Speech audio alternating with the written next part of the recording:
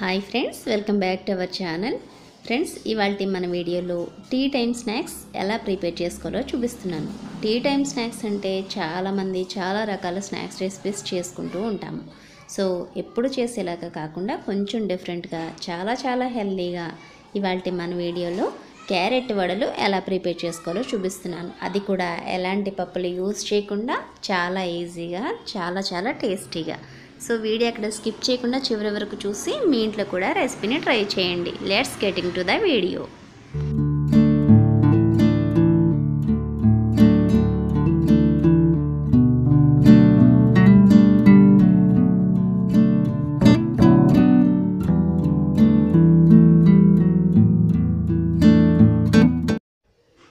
ముందుగా ఈ tea time snacks prepare చేయడం కోసం ఒక గంట ముందుగానే ఇలాగా ఒక కప్పు బియ్యాన్ని ఒక ఎంటీ బౌల్లో వేసుకుని శుభ్రంగా రెండు సార్లు కడిగి ఇందులో ఫ్రెష్ వాటర్ వేసుకుని బియ్యాన్ని నాననివ్వండి. ఒక గంట టైం లేదు అనుకుంటే కనీసం ఒక అరగంట సేపు అయినా సరే బియ్యాన్ని నాననివ్వండి. త్వరగా బియ్యం నానడం కోసం రేషన్ బియ్యాన్ని తీసుకోండి. చాలా త్వరగా నానిపోతాయి. సో ఇలా బియ్యాన్ని శుభ్రంగా కడిగి ఇందులో ఫ్రెష్ వాటర్ వేసుకుని ఒక గంట పాటు నేనైతే పక్కన పెట్టేసుకున్నాను. సో ఇలా గంట పాటు నానిన తర్వాత క్యారెట్ వడలు ఎలా ప్రిపేర్ చేసుకోవాలో చూపించేస్తున్నాను. ఇప్పుడు ఒక మిక్సీ జార్ తీసుకుని ఇందులో ఒక హాఫ్ కప్ అటుకుల్ని తీసుకోండి. ఏ కప్పుతో అయితే బియ్యాన్ని తీసుకున్నారో అదే కప్పుతో ఒక హాఫ్ కప్ అటుకుల్ని తీసుకుని ఒకసారి బరకగా గ్రైండ్ చేసుకోండి. మరీ మెత్తగా పౌడర్ లాగా అవ్వాల్సిన అవసరం లేదు. బరకగా గ్రైండ్ చేసుకోండి బాగుంటుంది.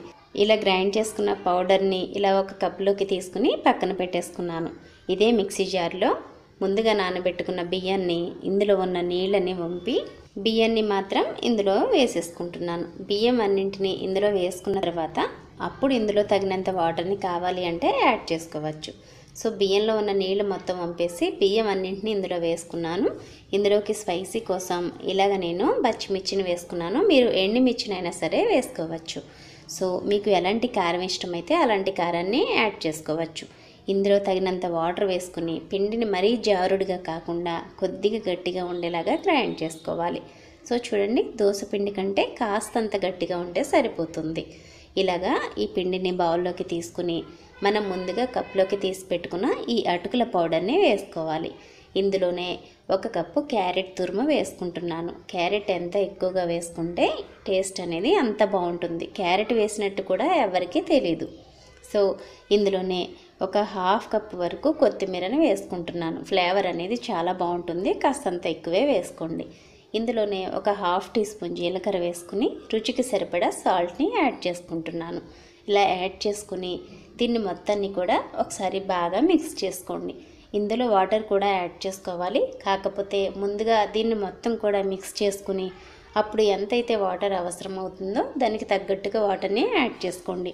మనం వేసేవి వడలు కాబట్టి పిండి అనేది కాస్తంత గట్టిగానే మిక్స్ చేసుకుంటాం కాబట్టి వాటర్ని చూసుకుని వేసుకోవాలి. దానికోసమే ముందుగా పిండి మొత్తాన్ని ఇలా మిక్స్ చేసుకుని ఇందులో కొద్దిగా వాటర్ని వేసుకుంటున్నాను.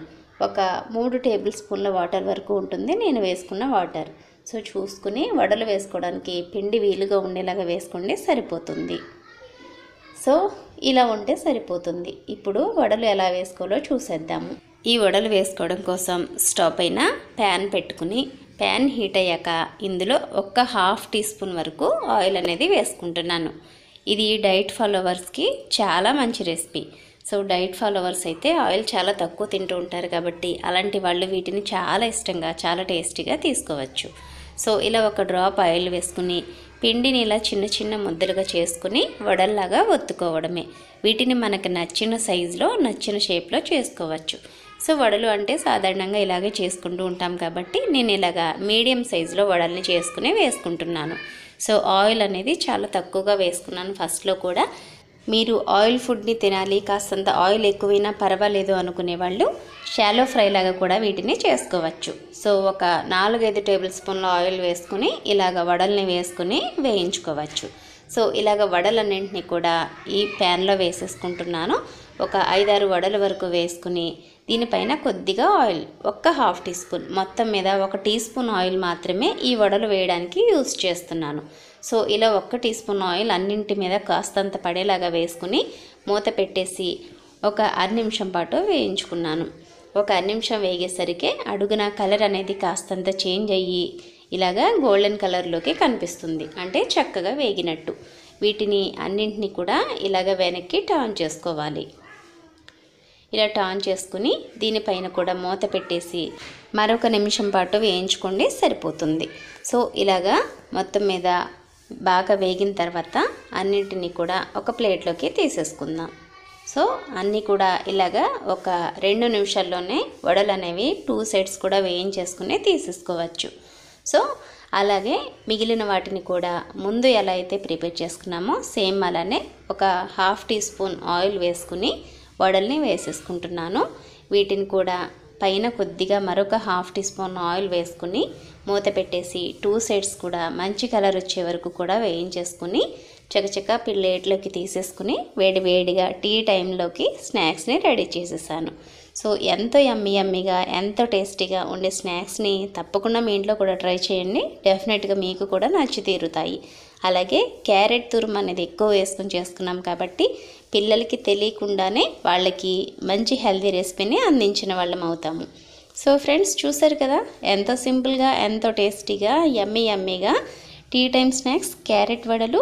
సో తప్పకుండా ఎలాంటి పప్పులు లేకుండా తక్కువ ఆయిల్తో ఎంత టేస్టీగా ఈవినింగ్ స్నాక్స్ని ప్రిపేర్ చేసుకున్నాము. సో మీ ఇంట్లో కూడా ఈ రెసిపీని ట్రై చేసి ఎలా ఉంది అనేది కామెంట్ సెక్షన్లో కామెంట్ చేయండి.